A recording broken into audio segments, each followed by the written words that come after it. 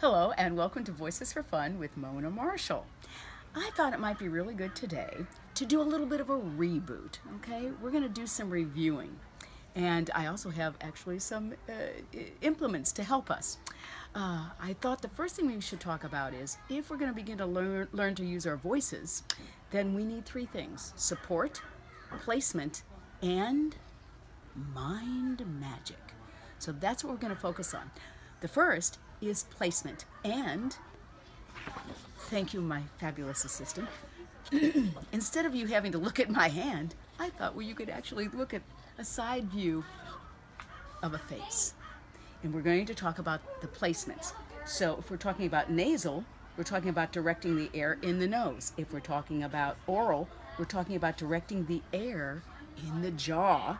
If we're talking about guttural, we're talking about the air being caressed by the vocal folds. And if we're talking about aspirate, we're talking about the vocal folds letting the air pass through them.